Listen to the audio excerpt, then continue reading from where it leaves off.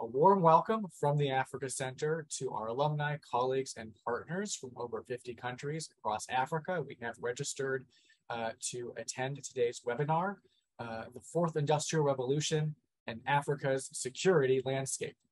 My name is Dr. Nate Allen, and I am the Assistant Professor of Security Studies and the Africa Center's faculty lead on cyber issues. Before we continue with our program, it is my honor to briefly turn things over to our director, Amanda Dory, to say a few brief words about the Africa Center. Amanda, over to you.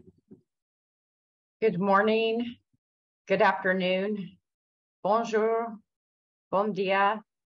It's a pleasure to be with you today. My name is Amanda Dory. I'm the new director of the Africa Center as of one month ago today and it's a pleasure to have the opportunity to participate in a webinar for the first time since arriving. Just a few brief words of greeting before we dive into a very meaty topic today. I'd just like to refresh all of you, uh, alumni and partners, about what, what we think we're doing here at the Africa Center, what, what our mission is. We're focused on advancing African security in four pathways. The first one is expanding understanding. The second one is to be a trusted platform for dialogue. The third is to build and sustain partnerships. And fourth, and truly importantly, is catalyzing strategic solutions. I think we see all four elements coming together today in this webinar format. One of the silver linings of COVID has been the as a driver of innovation and along with many, many organizations and institutions, that has caused us to explore technology solutions and to innovate in the form of these webinar series. We're very pleased to be able to continue those even as we begin to return to some in-person events. The beauty of the webinar is it allows us to pull people together from all over in a single place and, and single format and iterate and learn from one another. I'm very pleased that we're tackling this topic today in terms of the fourth industrial revolution and the implications for African security and United States security uh, together. So with that, I would just encourage you, if you haven't done so recently, please check the africacenter.org website. We have new research and publications coming out all the time on this topic that we're addressing today, as well as many others. And let me now turn it back over to Dr. Nate Allen. Thank you. Thank you very, very much, Amanda, for that excellent introduction. Um, on the, the point about the web page, I have just sent everyone a link to the program's webpage in the chat. There you will find our speaker bios and a reading list, and then in a couple of weeks, the, the recording for this program. So the reason why we are having this webinar is that many of the world's leading technologists and futurists are becoming convinced that the digital, digital revolution may only be the beginning of an even more fundamental series of technological changes. This so-called fourth industrial revolution will be driven by overlapping innovations in digital, biological, and materials sciences. Some of the key technologies driving this fourth industrial revolution include advances in artificial intelligence, robotics, genetic engineering, 3D printing, and nanomaterials. Over the coming decades, the fourth industrial revolution may drastically alter global, man global manufacturing and reshape balances of power. To date, very little has been written or discussed about this fourth industrial revolution's likely impact on Africa, and even less on its security implications, which are likely to be profound and frankly are already starting to be felt. Across the continent, drastic reductions in commercial satellite technology are contributing to rapid advances in intelligence collection and being used to address food security and climate change. The United Nations alleges that the world's first autonomous weapon was used on African soil in March 2020 when a Turkish-made Kargu 2 military drone was reportedly used reportedly used machine learning object classification algorithms that are AI driven to target logistics networks belonging to the Libyan National Army without direct human oversight or intervention. And in the future, possibly the near future, a proliferation of small, smart, and cheap weapons platforms may provide smaller plowers and even non-state actors with capabilities that today are the preserve of superpowers. So what is this fourth industrial revolution and how does it relate to cybersecurity, a topic that many in our audience, I think, are more familiar with? What are the geopolitical and security implications for Africa with respect to the spread and proliferation of fourth industrial revolution technologies? How can African security sector officials and government stakeholders work together to enhance the benefits of the fourth industrial revolution and mitigate the downsides, risks, and information security challenges associated with it. While it will only be possible to scratch the surface of the answers to these important questions over the next hour, it is my hope that you all come away with this webinar convinced of the Fourth Industrial Revolution's significance for global and for African security. And to help us illuminate the scope and the scale of the security challenges from this revolution, I'm really honored to introduce two extremely distinguished panelists. Uh, first, we have with us Dr. Landry Signé, who is Executive Director and Professor of the Thunderbird School of Global Management, a Senior Fellow at the Brookings Institution, and a Distinguished Fellow at Stanford University. He is a world-renowned expert on the challenges, opportunities, and strategies for addressing Africa's emerging technology challenges and has been recognized by the World Economic Forum as one of the top 50 most future-oriented thought leaders. He is also the founding director of the Fourth Industrial Revolution and Globalization 4.0 initiative. So we're really going to benefit from his expertise. Next, we have with us Ms. Moliehi Makumane, who is a researcher with the Security and Technology Program at the UN Institute for Disarmament Research where she focuses on cybersecurity and the implications of emerging technology for developing countries. Before joining the United Nations, Moliehi was with the South Africa's Department of International Relations and Cooperation, where she led the International Cybersecurity File and served as a negotiator at the high-level open-ended working group and as a senior advisor to the UN Government Group of Experts. You may also recognize her from Foreign Policy magazine, where she was profiled among people to know in securing our digital future. So we're absolutely delighted to have both of you with us today for this webinar.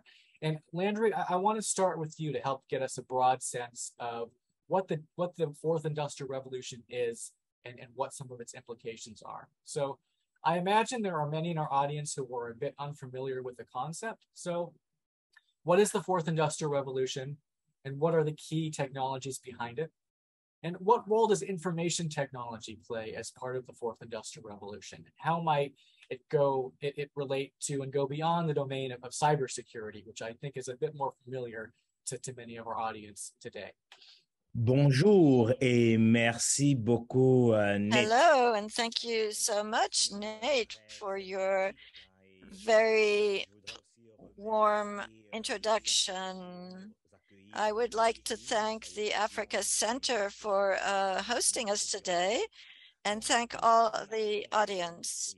So in terms of the fourth industrial revolution, it is a theme that has emerged during the last decade when we hear questions of digitalization, often there is confusion between what is the third industrial revolution, which is digitalization and the acceleration of it, and the fourth re industrial revolution, which is defined by the executive president of the uh, Global Forum as being a fusion, a combination of technologies that brings together, that kind of uh, brings together the physical, biological, and digital worlds. So the fourth industrial revolution is based, is founded on the third industrial revolution, which is very linked to the question of digitalization.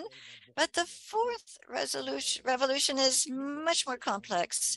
Uh, first off, there is the question of the, the, the breadth and the reach of the fourth industrial revolution, the scope, all of these sectors are affected. Nobody can really be uh, cut themselves off from the fourth industrial revolution. Um, and to even try to be excluded from it would have a strong impact on persons. The persons who are trying, who are uh, protecting themselves uh, uh, in terms of cybersecurity or other, and also the fourth industrial revolution is truly uh, uh, characterized by the speed of the innovation, its innovation. Uh, when there were new technologies a hundred years ago, it took several decades or even a century to to become popularized. And but today, these technological innovations are popularized like in almost real time when we speak of Twitter, Facebook, and other, or speaking of drones, for example.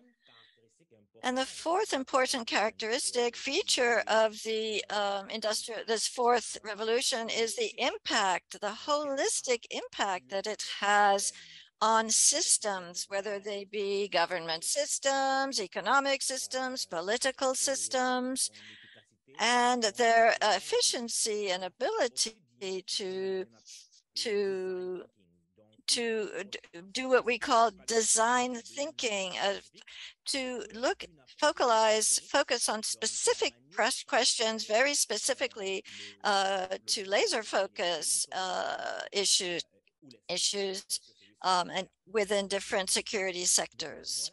So these are a few broad uh, uh, points uh, to to bring to you the main uh, characteristics. It's a fusion technology. We don't just speak of artificial intelligence. We don't just speak of one of physical issues or or or others, but in a certain way, we speak of features also by biological, for example, how we are interconnected on the earth. So the question is, what are some of the key technologies of the fourth industrial revolution? Of course, there are technologies such as artificial intelligence, which is well known at this point. There's, of course, uh, technologies such as drones, uh, uh, automatic vehicles, blockchain, biotechnology, the speed with which, for example, we discovered uh, the, the, vaccine for COVID-19. And this is also linked to, to these technologies that have emerged with the fourth in, uh, industrial revolution. It's not an abstract issue, it's very concrete. When you're talking about drones, uh, be they used for security in the Sahel region to fight against Boko Haram or others, in, or in Nigeria, in Chad, in Cameroon, in Niger, Mali, among other countries, or be uh, it used for medical issues uh, in Rwanda, for example, to deliver um, drugs to patients, to uh, or medical equipment in rural areas to face issues that come up with infrastructure. This is all part of the concrete applications of these technologies that are issued from this, that have come out of this fourth industrial revolution. A few uh, years ago, there was we we were looking at uh, to what extent um, African countries were vulnerable now, the, these tests that were carried out showed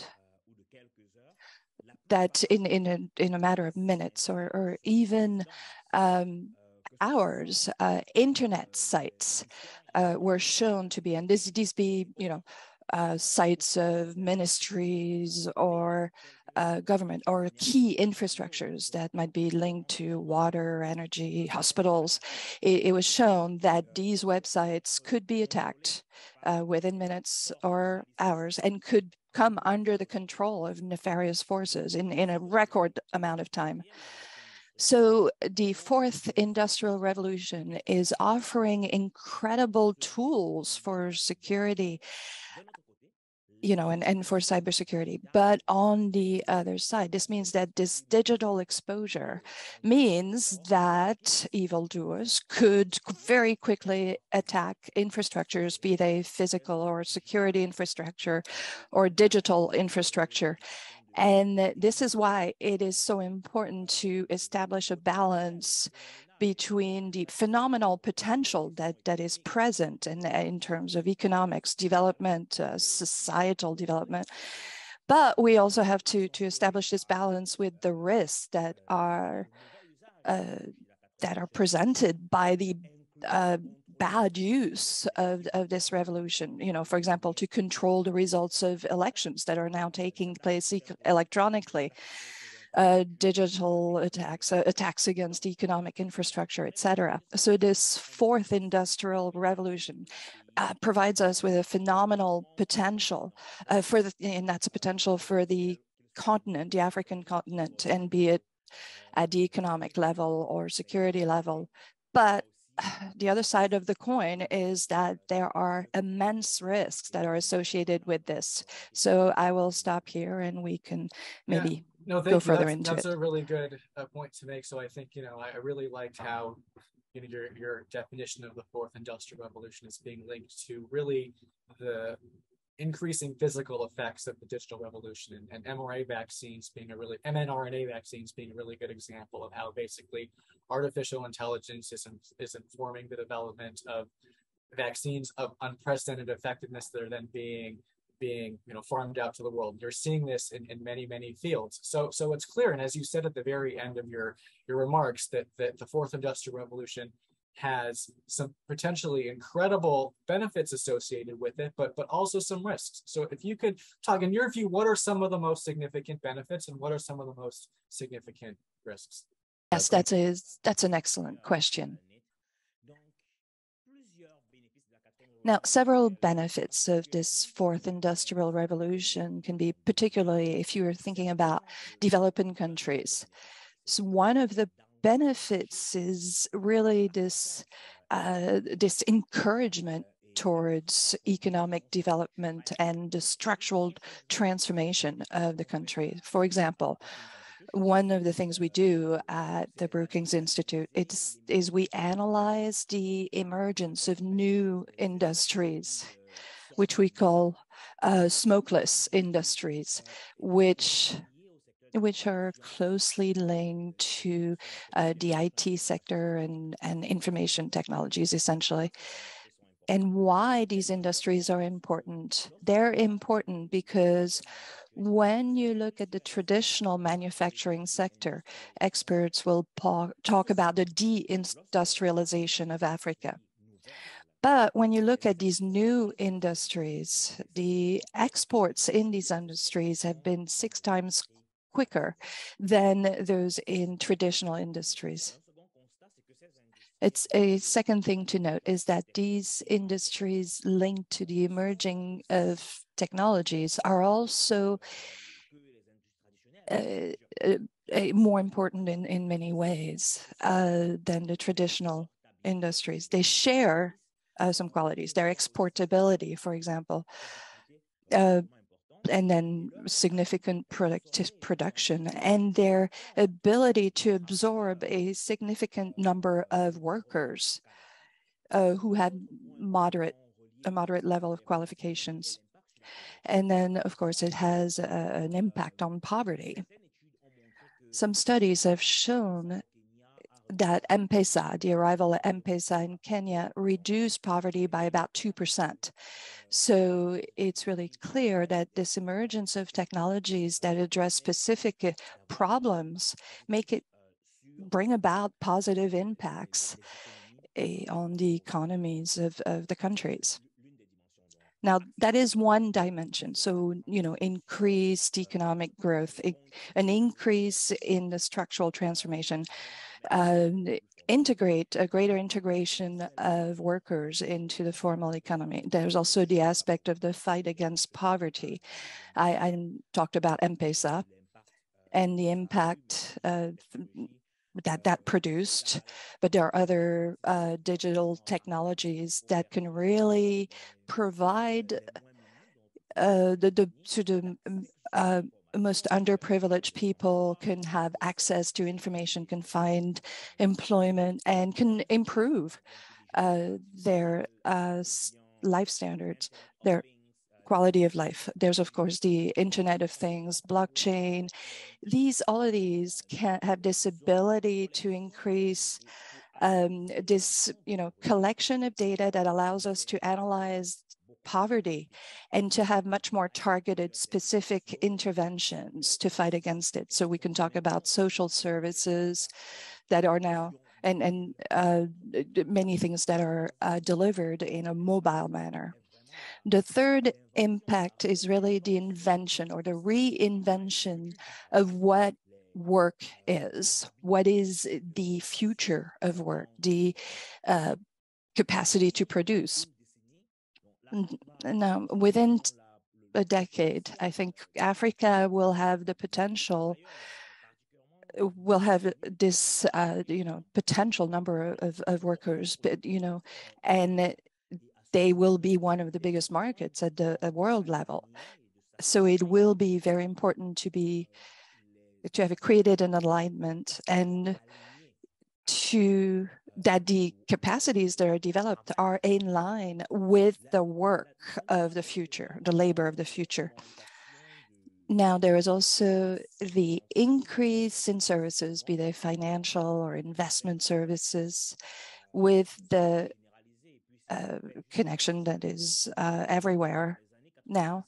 In the 1990s, New York um, had more uh, phone lines than the entire continent, but now we have, you know, many, many people um, who subscribe to this. And so it, it, makes it much easier to have these mobile payment um, applications. Then there's the development of uh, technologies in agriculture and many other things that can help uh, with water, uh, fertilizer supply, all these items that uh, come into play when we talk about the changes in temperatures. So the work that is done by farmers, for example, you know, uh, the analysis of the soil, the mapping, you know, if you use drones to uh, observe uh, farm land is one example. I published a paper recently about the revolution's role in improving health and, and human capital. So we've seen an acceleration in the processes with applications that enable doctors to monitor patients in rural areas, uh, applications that uh, deal with insurance. So it is clear that the potential of the fourth industrial revolution is absolutely phenomenal and, and impacts pretty much all sectors of the economy. But the risks, and not only in terms of security, have to do with governance as well. Leaders now have access to an incredible amount of information regarding their citizens if they are democratic leaders and have responsible behavior this is very good but if they're not democratic leaders and do not eat act in a responsible manner. There are uh, there's an incredible amount of tension or information in the data that can be used to incriminate uh, citizens to or to control the results of elections. So that is one aspect. There's also the uh, the security dimension uh, of which we spoke when we speak about the vulnerability of countries uh, in terms of cyber attacks yeah, but there's also the issue of the, the connection to uh, spying, espionage is another uh, issue. That's another visible vulnerability. And some sectors will also uh, have more resources than others. So if we, you know, in, in job creation, persons uh, who work, like now automation will um, essentially mean that some people who have uh, employment that can be automated uh, they will not have uh, these opportunities. But an advantage also uh, to this is, is we're really going to have a reskilling of the workforce, a, a continued improvement of, of skills uh, within the workforce. So, you know, these are some of the important benefits and then some risk, uh, you know, including the, the, control of the citizens. In some countries, countries are assigning a score to the behavior of citizens, and, and this is based on behavior that is observed without their consent. And this presents a security risk, uh, you know, in terms of privacy and uh, meaning how citizens can use uh, this to stay in power. Uh, thank you very, very much, Landry. I think that's an excellent point that sort of the fourth industrial revolution gives governments unparalleled I control in many ways, access to information, and then I think increasingly ability to use that information for surveillance, for detention, potentially in the future for things like genetic engineering, um, to control, you know, lots of remote kinds of technology. So I think there are definitely some important security implications and troubling risks um, and I think I'd like to bring in Moliehi, and then at the end we're gonna we're gonna go to, to some of the recommendations you both have. But but Moliehi, I'd like you to help us unpack further some of the fourth industrial revolution's strategic implications. Um, in your view, kind of from where you sit at the UN, what are the primary security implications for African stakeholders that are likely to result from the spread of fourth industrial revolution technologies, building a little bit on what we just heard from, from Landry? And in particular, how do you see uh, the fourth industrial revolution changing the nature of the threat from violent actors like criminal groups, like violent extremists, and by potentially malicious nation state actors? Thank you so much, Nate and um, Landry. Wonderful to e-meet you. Um, we should definitely know each other. Um, thank you to the African Center for inviting us and as Nate has already said, my name is Moliehi Makumane and I'm a researcher at the UN Institute for Disarmament Research based in Geneva. And our work is primarily looking into the implications for international peace and security. So sort of looking at um, that level of threshold. And what we're discussing today is a very, very interesting topic. And I agree with everything Landry has said so far um, with regards to the definite benefits um, that this brings and also the, the flagged risk that he's also raised around surveillance in, in Africa. Um, so from, from where I sit, there are a couple of primary security implications for a lot of countries um, with varying effect for, for African member states, of course. And one of them is, is that at least from the research that we're doing, um, the technologies themselves are actually contributing in certain in certain instances to escalating tensions um, where there are already existing political or geopolitical tensions. Um, and we see this um, in the case of certain technologies like AI-enabled digital media fabrication or deepfakes, um, but um, which can be used to spread disinformation. And, and that's, that's something that we've, we've been looking at. Um, but the also related to this escalating tensions impact is also from a UN perspective, also then the role of technologies in UN work around mediation. And um, the UN is deploying technologies to, to also work in that space. But at the same time, those very same technologies can also be manipulated by by, by actors in that space, either the, the belligerents or even or even state actors, and it, it becomes a bit murky there. Um, but there are also issues around ethics um, when it comes to, to the use of technologies in the maintenance of peace and security. And, and here primarily we're looking at um, artificial intelligence applications for military. And, and one of the things that, that we're seeing in our research is, is also reinforcing new reinforcing existing biases, gender and racial biases, but also creating new biases. So you know, like like we say, um, what what happens online is actually a mirror of what happens offline, and we're also seeing this with regards to the application of of the of these emerging technologies. And then I think at, at, a, at a higher, more strategic level is honestly a concern, both from the from the emerging tech space, but also from the cyberspace, um, around the concern that technologies and capabilities previously owned by state actors is, is now falling into the hands of non-state actors.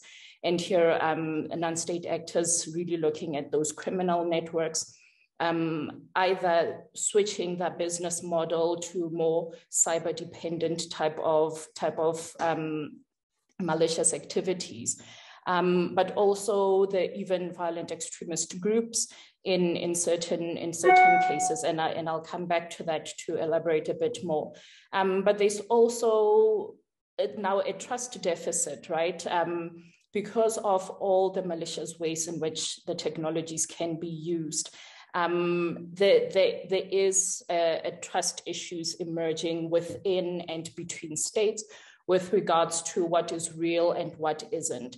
And, and there again, Nate, then I will I'll then come back again to the non-state actors, which is which is part of what really causes causes this. Um, the fact that a lot of the emerging tech, or at least for AI, are open source AI, the barrier to entry is extremely low. Um, and even, even in, in applications where, where developers have tried to limit it, we've seen evidence that it's also very easily replicated.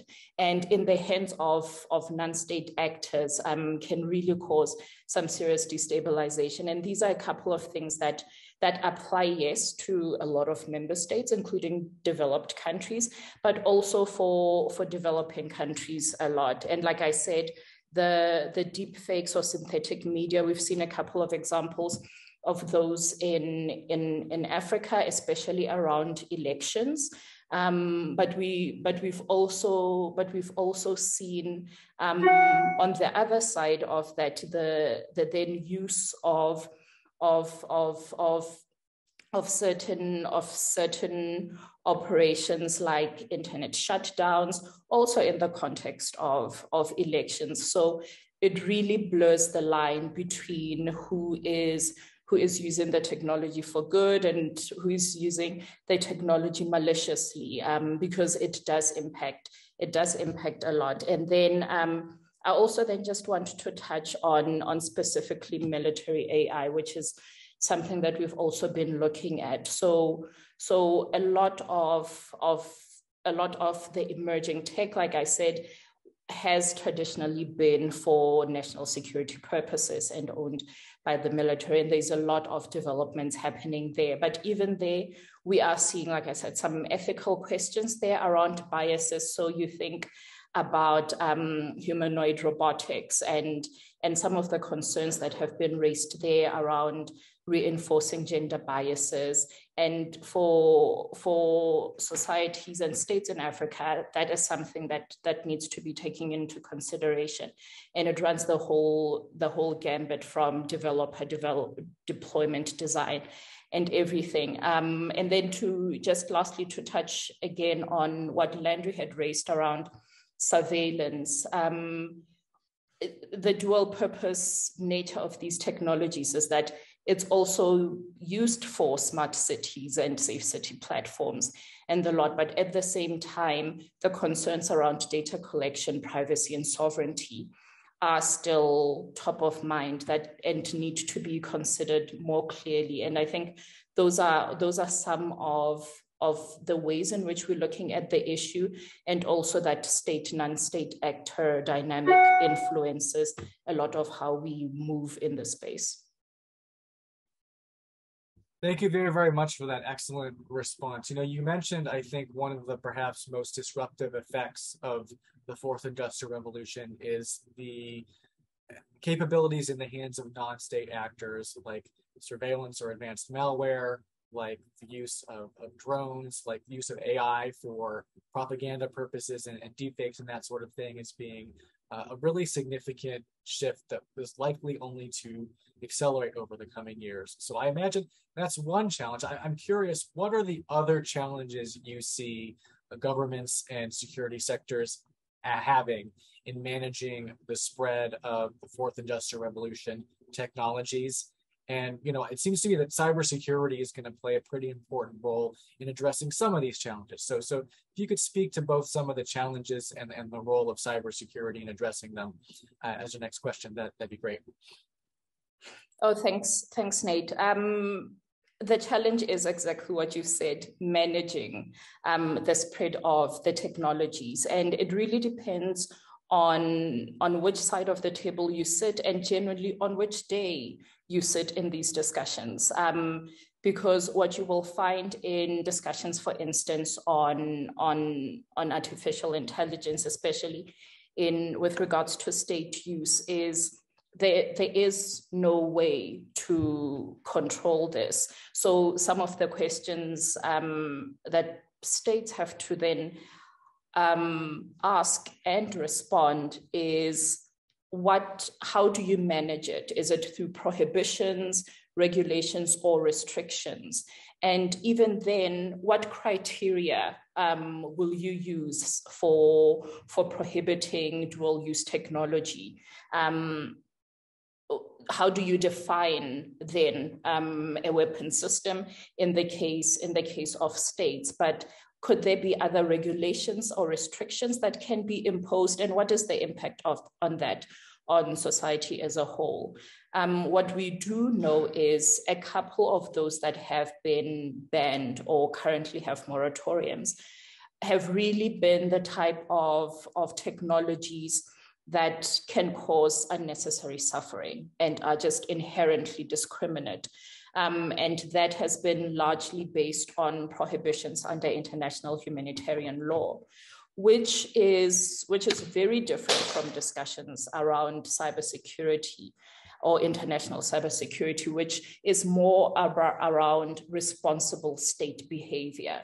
So basically saying the technologies in themselves um, are not malicious it is how states use the technology that can have that can have um, negative impact.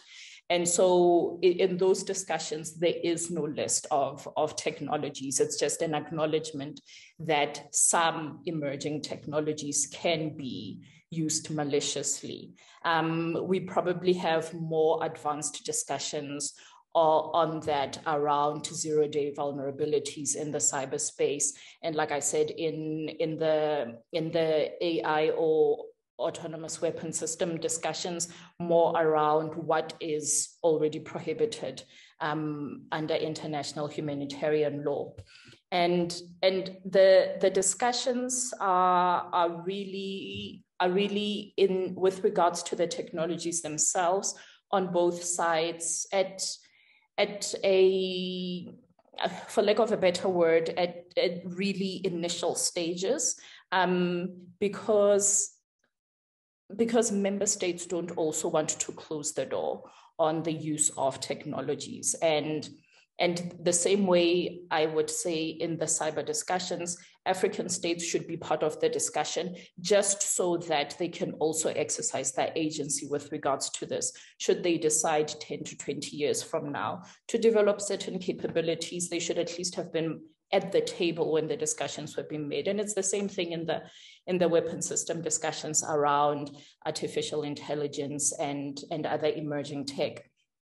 And, and and so where the, the nexus comes in has really been around um, security for AI and not so much AI for, for cybersecurity. So, so here we've got, we've got a very interesting way in which the discussions are, are going in the artificial intelligence space, which is just when developing or acquiring new, new weapon systems based on emerging tech. um, physical security, but also appropriate non-physical safeguards, including cybersecurity against hacking or data spoofing should be taken into account. Um, but we don't have the inverse in the international cybersecurity discussions that talks about the use of AI for cybersecurity. And so, like I said, the very initial discussions, but of course, outside the UN and state-led initiatives, there are a lot more discussions around AI for cybersecurity, increasing the, the prevention, detection of, of those malicious actors. Thank you very, very much. So it, it, strikes me that one of the main kind of stumbling blocks is that so much this technology is is so new that you're just not at the level where you can get any kind of broad international agreement on how to limit it. Because in order to draw up kind of sensible treaties or regulations, you have to have some kind of understanding of what the capabilities, actors, activities involved, and in particular, especially when it comes to cybersecurity, to some extent when it comes to AI, you often have very technical discussions about the capabilities of the programs rather than, than how necessarily they're being used. I think this is going to going to change as we become more and more familiar with exactly what some of the broad implications of the technologies are. So um, I want to get to Q&A and I would encourage our, our audience uh, if they do have questions to begin asking them in the chat. But I do want to give both Landry and Moliehi just a couple minutes apiece to talk about what they see as some of the more uh, promising uh, ways in which government and security sector actors and also the private sector and, and, civil society can work together to address some of the fourth industrial revolution's challenges. You know, I've often heard it said uh, multiple times that, that in cyberspace, and this is probably true with other emerging technologies as well, uh, criminals move at the speed of light and law enforcement moves at the speed of law. So um, how can government and security sector actors in partnership with non-governmental actors address the challenges you've identified and, and what kinds of policies, strategies, and international partnerships should governments be forging now to ensure they are not caught flat-footed by accelerated technological change? I'm going to give three minutes to each of you because we already have a lot of questions in the chat and then go to broader Q&A. So Landry, let's let's start with you. Thank you very much, Nate, for a question that is indeed very important. If we had more uh, more time and, and if we could, I, I, would have gone back to the broader issue of strategy rather than cybersecurity. The first thing uh, uh, to get really to the specific topic of cybersecurity, the first thing to do is it's very important for states to really strengthen prevention capacities and response capacities to the vulnerabilities associated with cybersecurity. And this can be done by defining a very clear strategy uh, that needs to be a long-term strategy and, and also short term. But beyond defining a strategy, there is the issue of the resources needed and, and meaning also uh, financial resources because some governments will have strategies but will never have the resources to implement said strategies. So you need to have this resource, uh, this strategy in the uh, short and long term, and also the deployment of resources. Uh, and a, a, national level coordination of, of key actors, and that's extremely important. The encouraging societal uh, responsibility, accountability. It's not just a question of the state; it's also civil society. It's it's uh, all aspects of society. So really promoting uh, collective accountability, it's, and that reinforces the trust of the citizens towards this digital world uh, towards the fourth industrial re revolution in general. Now, another point is really also to increase, you, we need to raise awareness among citizens um, and other actors uh, regarding the risk associated with cybersecurity. And we need to offer training programs that will enable them to more quickly respond uh, to the risk associated with cybersecurity. There are currently several programs in existence. The African Union, with its Convention on Cybersecurity and the Protection of Private Data, the, the Malabo Convention. Uh, you know, this uh, was presented in 2011, but was only adopted in 2014. This may be one of the tools that could be used in a more substantial manner because up to now only a limited number of African countries uh, when I last checked uh, I think it was less than 10 African countries that had actually validated a plan. I think Angola Guinea uh, Mauritius Namibia Senegal and, and Rwanda. So it is very important to ensure that these countries that they not only no, actually 14 countries um, signed the convention, but I think it was only eight that ratified it. Even the name has changed, even if the number has changed since the last check, it hasn't been a significant change. Now there's the uh, AU cybersecurity uh, expert group that uh, essentially the experts of, of the AU on this topic that can truly be deployed uh, on the continental level, at the sub-region level, at the local level, to really improve the implementation of these measures to face uh, these risks, uh, these cybersecurity risks. There are also human uh, challenges and technological challenges. So this is really uh, something that we must do to to respond to these cybersecurity risks. We we must have this continental approach, this sub-regional approach, as well as a national um, approach, um, as well as with these cyber emergency response teams. So there are several tools that can be used to, to reinforce, to strengthen capacities. And we must also strengthen infrastructures, improve infrastructures, and because these will enable governments to improve their security. Now, intention is also extremely important. Um, cybersecurity improvement measures must be done in a very rigorous, planned manner. There must be an overall commitment from several stakeholders at various levels, be it at the level of the governments, civil society, businesses. This is really a collective responsibility.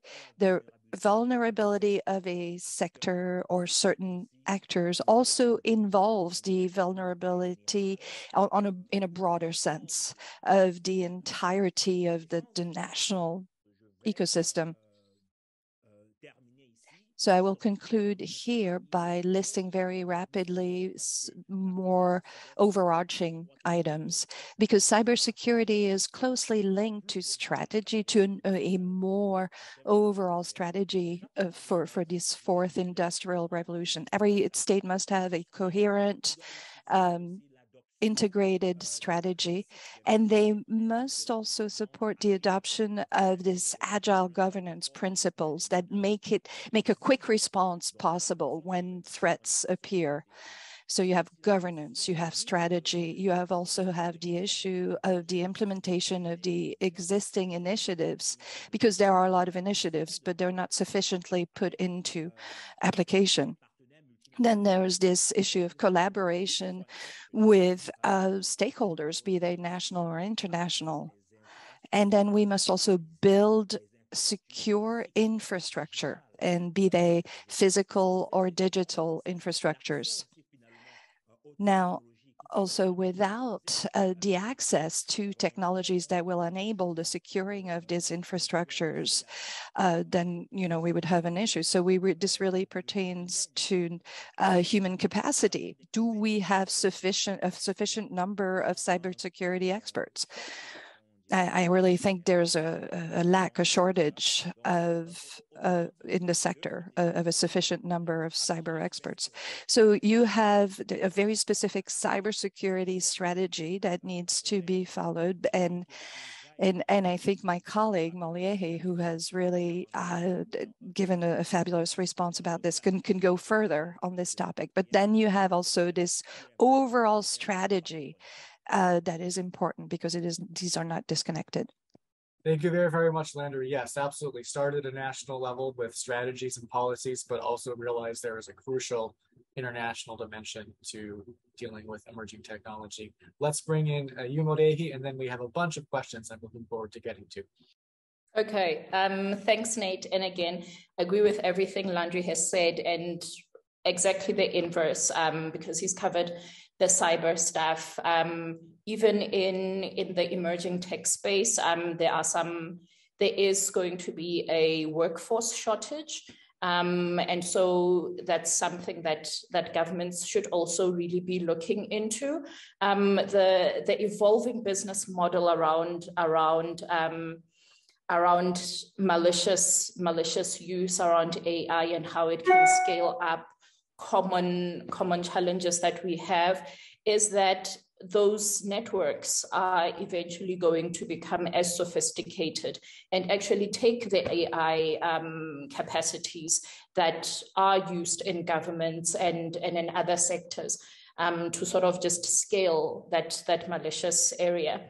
Um, but I also wanted to touch on, for instance, when Landry was talking about about the policies and the good initiatives that, that we've got at a sub-regional and regional level in Africa. And I'm thinking the Smart Africa type of initiatives where you've got these flagship projects being led by countries. You've got big data by the Republic of, of Rwanda. You've got AI, um, flagship country being South Africa. You've got smart cities um, and smart energy, Republic of Rwanda all these type of flagship um, projects, that's where that's where the, the policies should should also be developing within that multi-stakeholder model, um, where, where you're talking to private sector, academia, think tanks, um, as well as, as researchers in this space.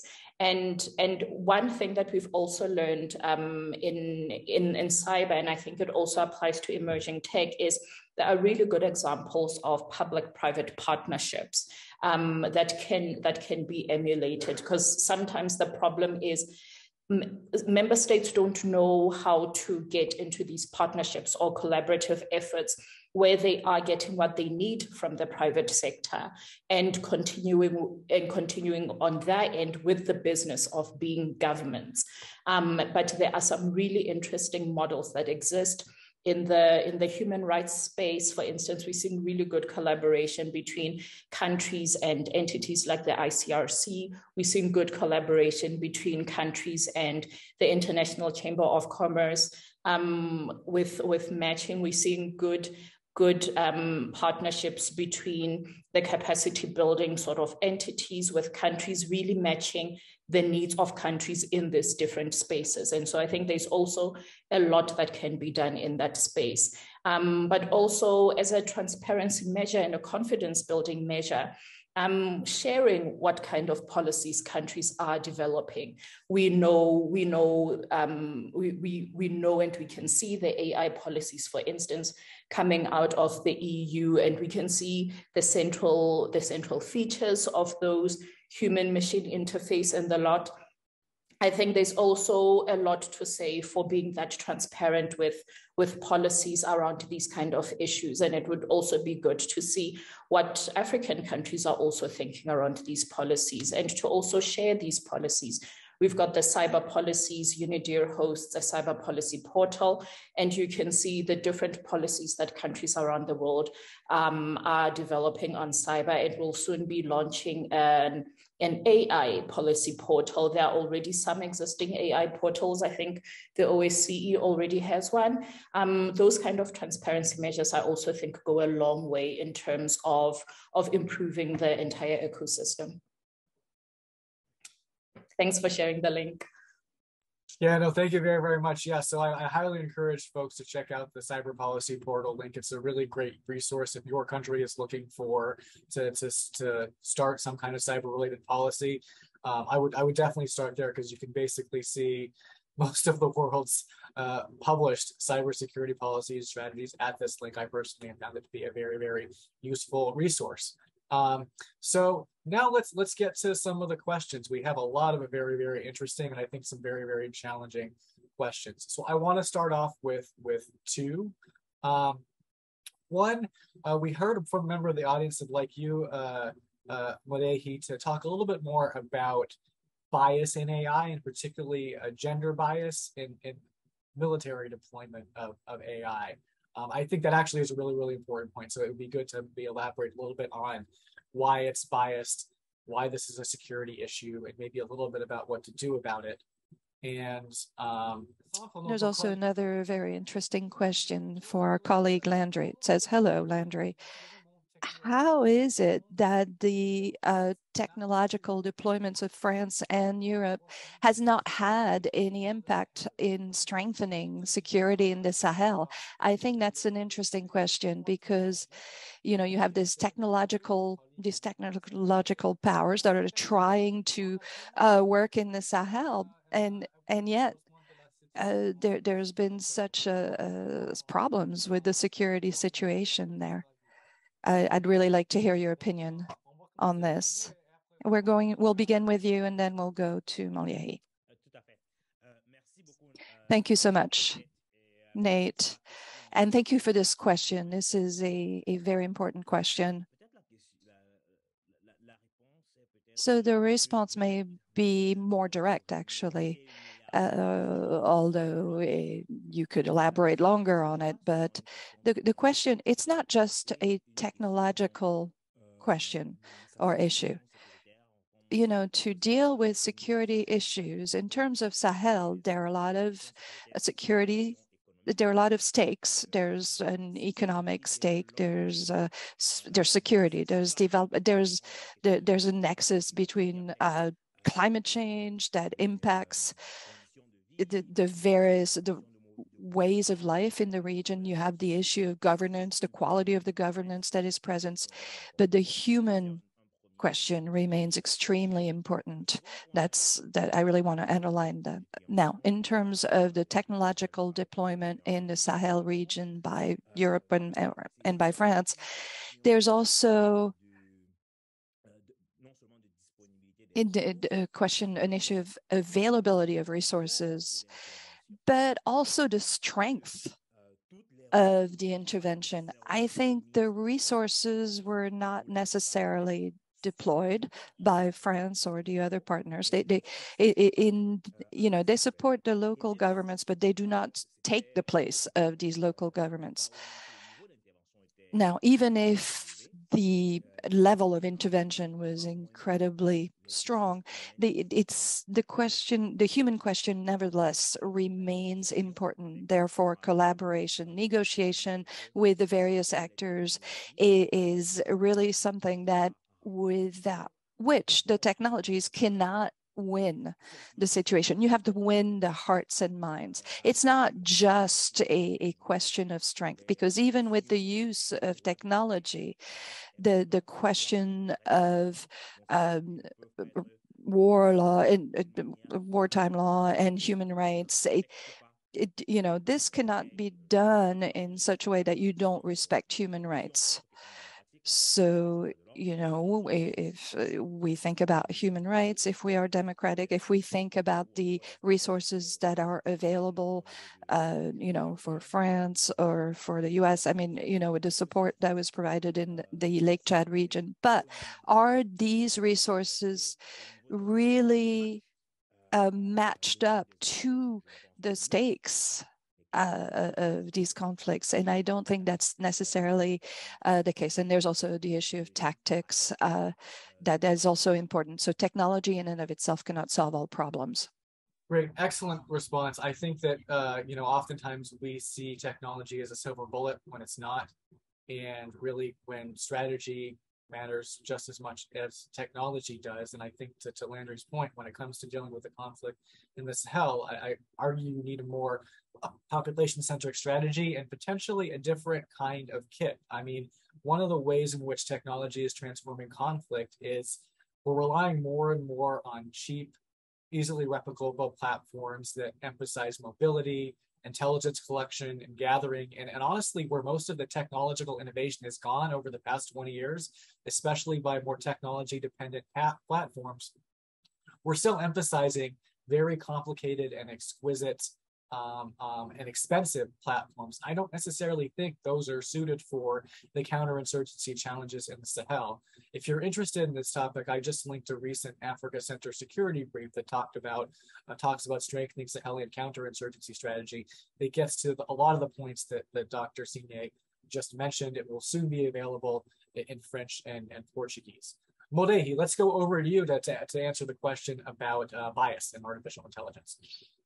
Yeah, um, thanks, Nate, and and thanks for for the question. So we we Unidir actually has a really interesting publication on this, um, and and you can look into it a bit more. But basically, what what the the concern really is is number one. Let me start with a caveat. Of course, gender norms are not constant, um, and they are they vary according to to cultures, but if AI is, is to be seen as replicating human intelligence, um, what, what the concern in military application is, is then that understanding of human intelligence should should not be biased against women, but should really include all genders. We already know that just based on on even civilian application, voice recognition, image detection, and machine translation.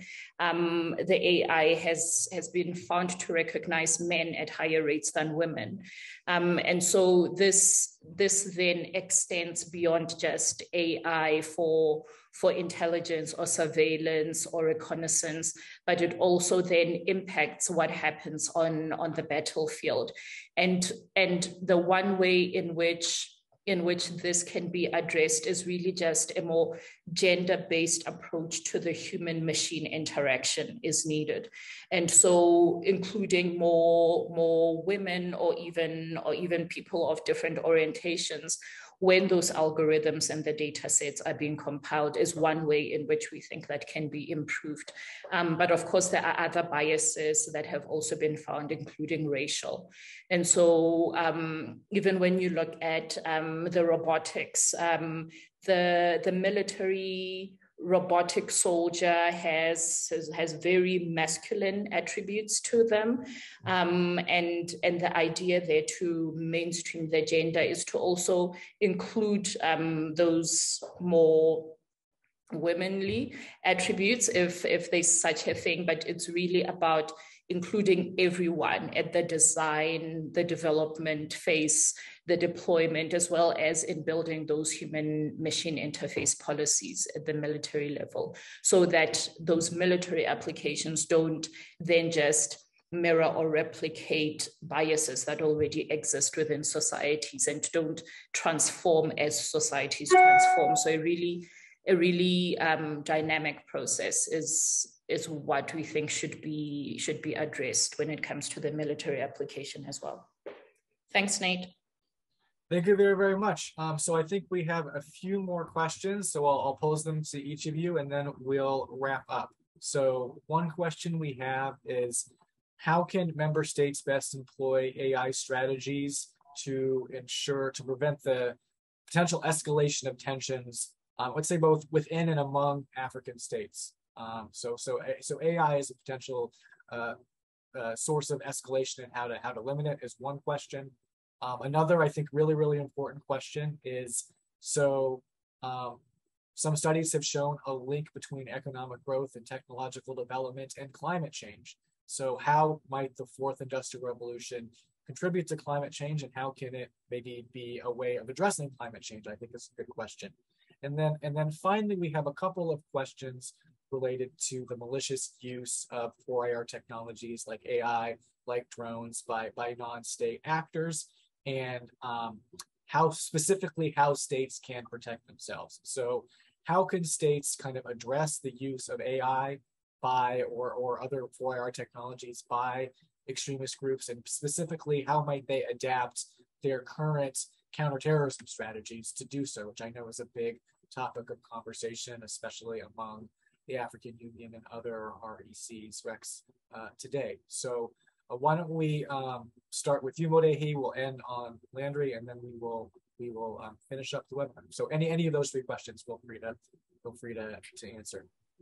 Um, thanks, Nate. I'll I'll actually start with the last one and around non-state use of, of, of the technologies and to say what what we are hearing from member states, at least at the at the UN discussions in the context of the international global governance, is although it is a concern that that there are some technologies in the hands of non-state actors, um, there isn't any tangible um, or, or quantifiable sort of evidence that member states are willing to share around, around the use of, of these technologies by non-state actors. Um, and so the ones that we know of a lot more are, like you said, the, the use of drones um, or unmanned aerial vehicles.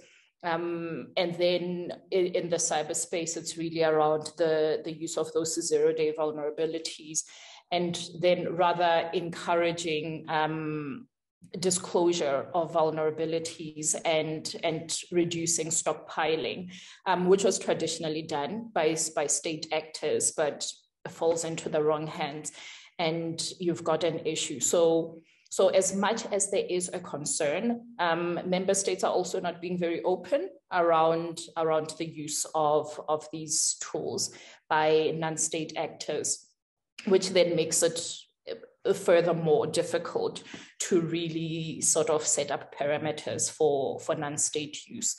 So that's that's just on on that end. And then i was also um also intrigued by by the first question also around around policies. And i think it's something that landry touched on which is um which is looking at, at what does exist. There's a lot of best practice and good practices that are emerging in, in the policy spaces around around emerging tech and, and cybersecurity. And I think that's also a really good way to start to see what is happening. A lot of the times people say um, African member states can leapfrog. And so don't make the same mistakes as as other countries have done but learn from those mistakes. And then and actually put in policies that i think landry also touched on this holistic look that looks at at the entire ecosystem and not just national security or economies or or you know the other different sectors. Um, that will be my contribution. Thanks nate Thanks, Landry. Over to you for the final word. Thank you so much. So I agree with everything that Moliehi has said. Brilliant uh, comments. So I don't have much to add to it, but on the question of the climate change and the fourth industrial revolution, it is important to in terms of the fourth industrial revolution, it, it brings tools, whether it's at the level of research or innovations or new technologies or solutions. There are several configurations that allow uh, solutions to the climate issue. Artificial intelligence, for example, allows us to anticipate forest fires, natural forest fires, and therefore to intervene early to prevent the ravages of these fires, whether it's ravages to the forest or to farmland. And so that is one of the stakes. Uh, and what are the capacities of local governments to obtain the qualified uh, persons, human resources, and qualified labor to to implement these policies because the problem is not only the type of policies that are decided upon and developed by the leaders, but also can they be implemented? So and can they be well defined? Can they be uh, adopted? At what point are they put into effect? Uh, and what are the results? So that, so there are the questions of what are the short-term, medium-term, long-term strategies, and how can the governments identify uh, I've already uh, uh, written upon it uh, about climate change in Africa, and I, have written a paper, two two papers on it that will be uh, published soon. One on uh, climate change and the conflicts and security in the Sahel region, and you can find that on the Brookings Institution website. And there's another one that will soon come be published. What are the strategies to face to confront these changes and what are the strategies that have been identified that are linked to the fourth industrial revolution? So we're talking about clean tech, we're talking about smart agriculture, we're speaking of applications that address the stakes that uh, are facing the world, that the challenges facing the world. So I think we have artificial intelligence, that is used to anticipate whether it's forest fires or to anticipate levels of of uh, fertilizer needed or anticipate the quality of the soil uh, vis-a-vis uh, expected precipitation, rainfall. So these are important elements, but we also have the issue of drones that can be used to have a better surveillance of an area, to better protect an area, to better identify uh, areas that are at risk in certain regions uh, for example, reforestation as well. So the fourth industrial revolution really is a question of how will the leaders focus uh, on human-centered technologies, technologies that, that put the human being at the center of the concerns uh, during their uh, time in office. So there are some solutions that already exist in the world, but the question is the following. Do African leaders, can they have technological, uh, strategic uh, units that in place, or can these be well identified?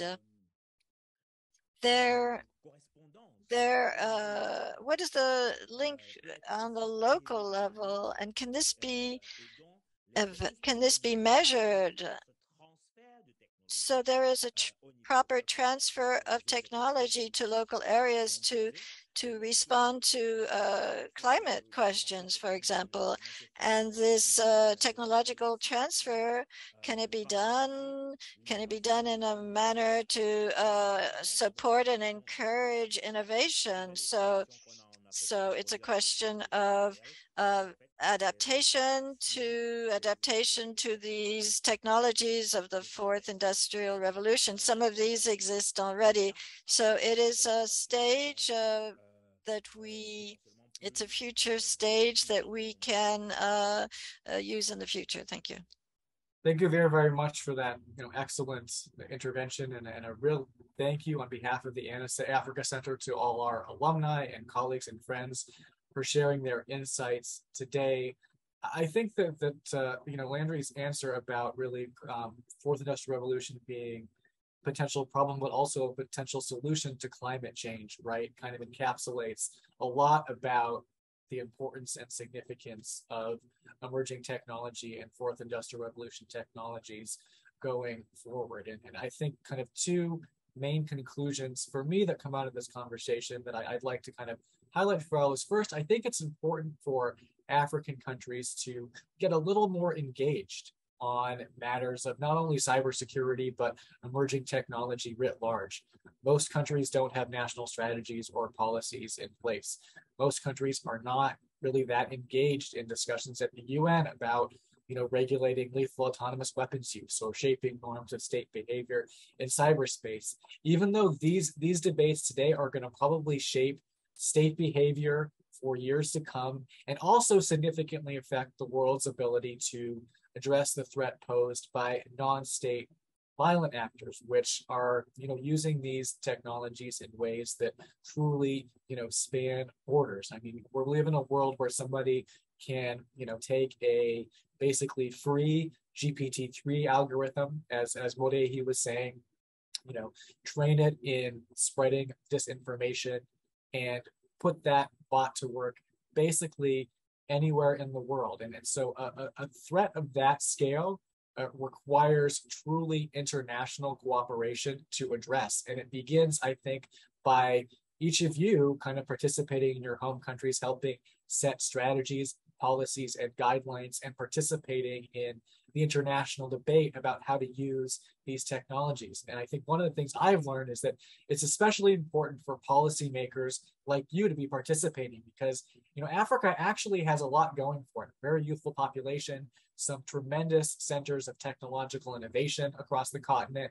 But but in my experience, it's not so much policymakers as technical experts who are participating in a lot of these really, really important debates we need strategic thinkers we need policymakers and I, I, hope that that that if as i said at the very beginning of this conversation if there's one thing you take away from this webinar it's it's convinced you of the importance of these emerging technologies for the future of african security and you know also as as as above all a strategic opportunity to i think as both landry and moliehi has, has emphasized to to put a human centric approach to technological change um, now and in the future. And, and I think if, if our African governments and leaders and security sector colleagues do that, you know, not only will they be able to mitigate a lot of the threats we've talked about today, but they'll really put the African continent in an excellent position going forward when it comes to using technology as as, as a lever for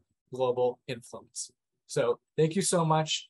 And again, have have a have a great uh, uh, rest of the week. And, and hopefully this is the, the beginning of a continued series of conversations about uh, the threats posed by the fourth industrial revolution and how we might work together to address them.